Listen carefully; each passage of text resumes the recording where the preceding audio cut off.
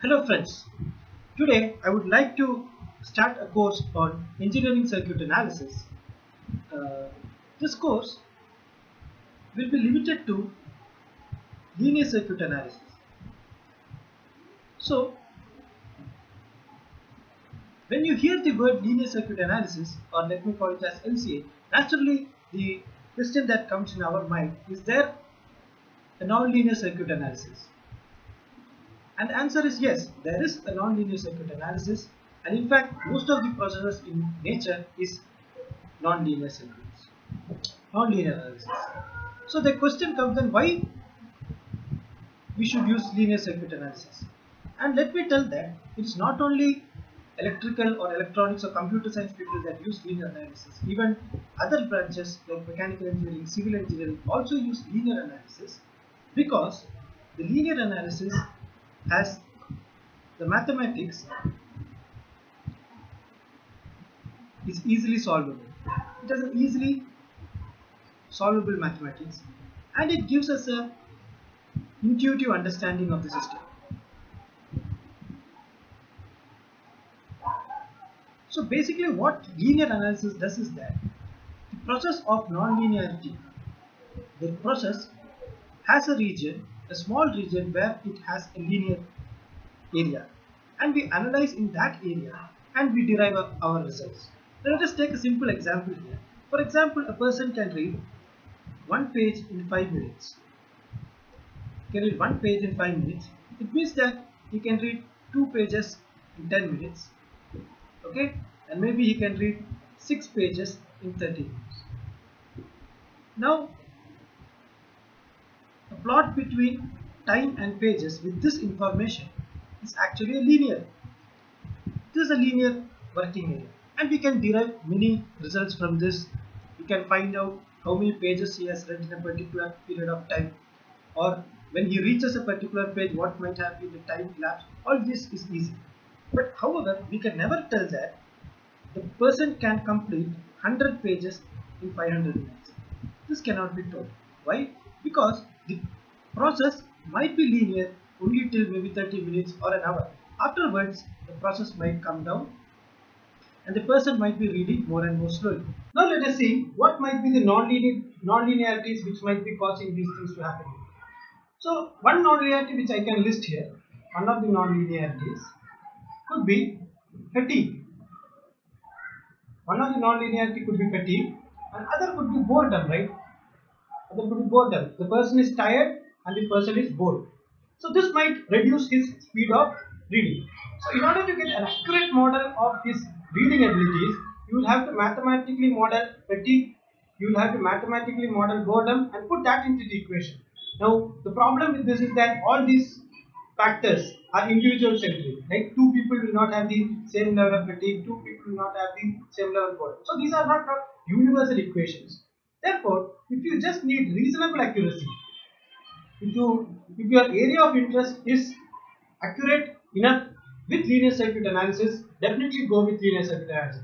In case your area of interest is of very high accuracy, then you will have to factor in all the non-linearities which come into the process, then you will get an accurate model.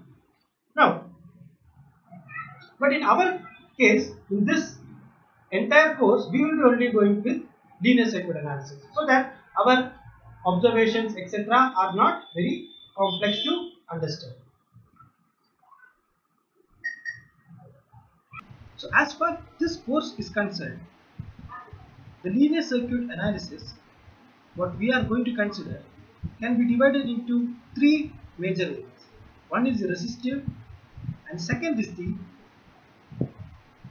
time domain and third will be the frequency domain. Now in the resistive domain we will be only considering with resistors. And the important thing here is that this entire area of resistive domain will be time independent.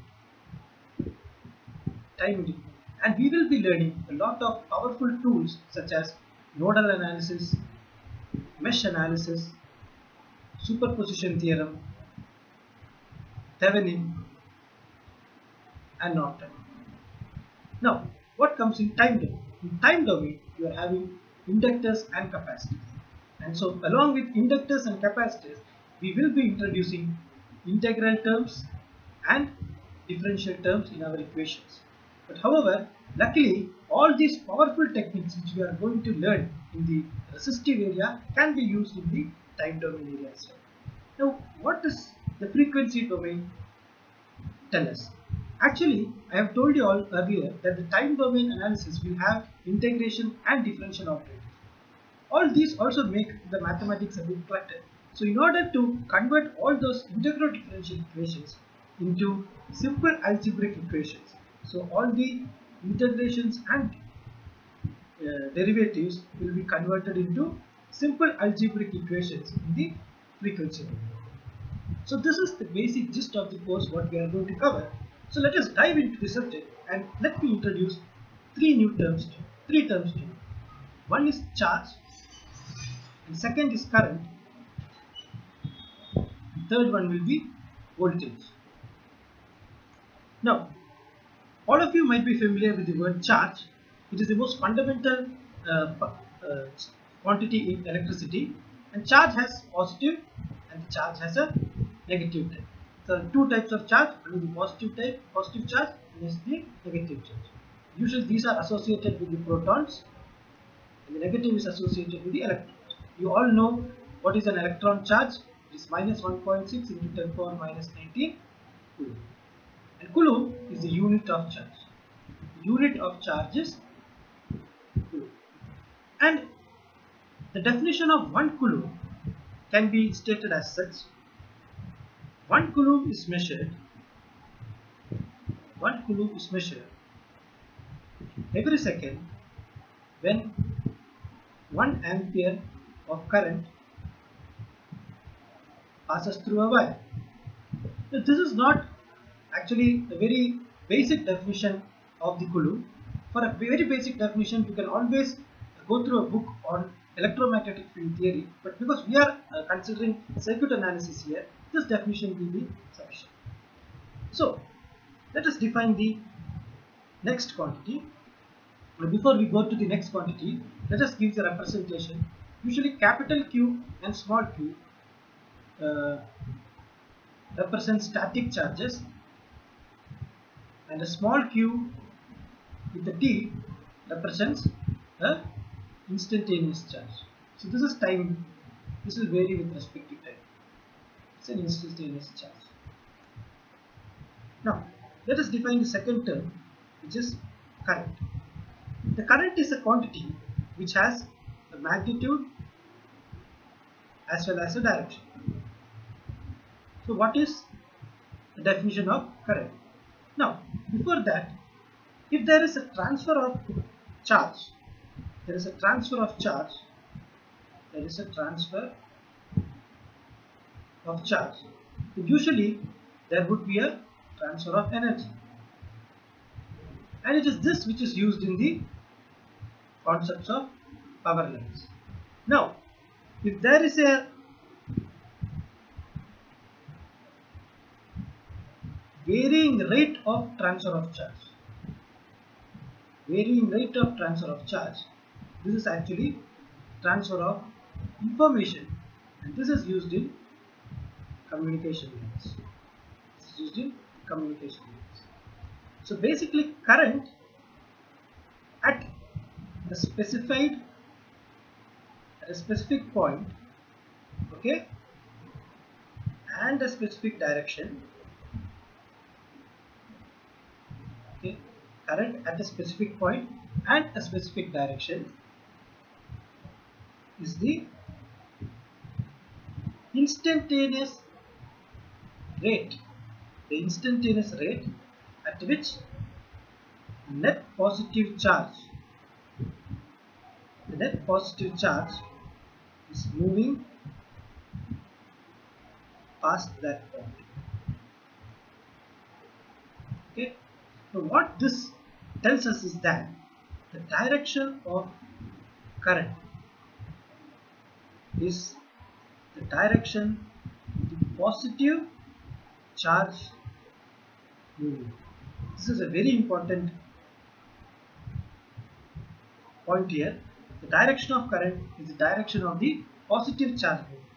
Now this is actually a historical inaccuracy but we have to live with it because initially people used to think that the cause of current was the movement of positive charge. But however later they found out it was the electrons which actually caused the uh, was the cause of the flow of current but by that time all these conventions had come but however we will be following this positive current convention in which the direction of positive current is the direction of the positive charge moving.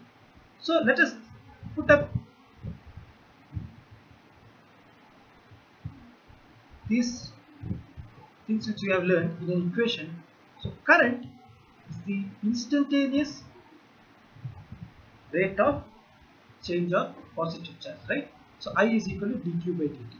So now let us put dq is equal to I into dt. Let us integrate both sides. We get dq is equal to, and this is charge at t0, and let this the charge at time t.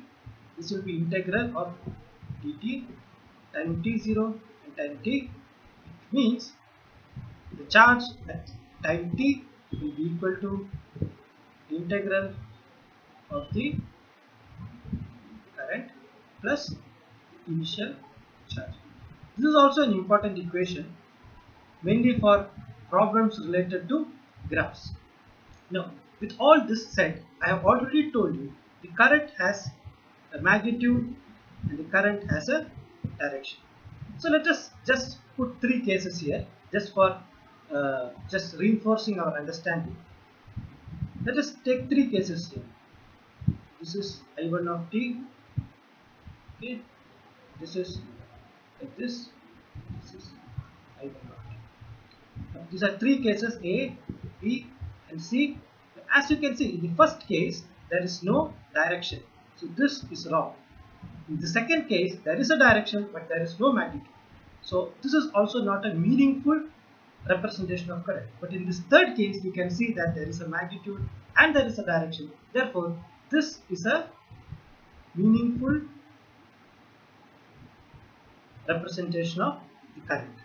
Now, another thing which I would like to uh, bring out here before winding up this session is that let us take a conductor here and the current is having a direction and it is moving at 3 amperes in this direction. Now, this is equivalent of reversing the current direction and telling that minus 3 amperes is. So these two are equivalent. So when you reverse the current direction, you reverse the uh, current magnitude, okay, and then these two are equivalent. Now let us take a simple example to understand this point.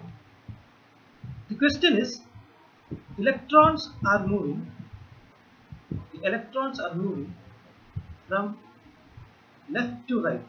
The electrons are moving from left to right and the current created due to this movement is 1 milliampere. So you have to find I1 and I2. Let us see what is I1 and I2. So this is a conductor. This is given to be the directions of I1 and I2. Now, to approach this problem, let us see. Electrons are moving from left to right. It means that the positive charge will be moving from right to left. That means because the positive charge is moving from right to left, okay, the positive current also must be from right to left. In this case, you can clearly see it is the current I2 which is moving from right to left. Therefore, the current I2 will be plus 1 milliampere and I1 which is in the opposite direction that is from left to right we have minus 1 milliampere. So, before concluding, let us stress on this point once again that the direction of the positive current is the direction of the positive charge. This is very important. So please make sure that you understand this point because in almost all problems we are going to face this choice of a minus current and a plus current. I hope you enjoyed this video and uh, please like, share and subscribe the channel and I'll meet you in the next lecture. Thank you.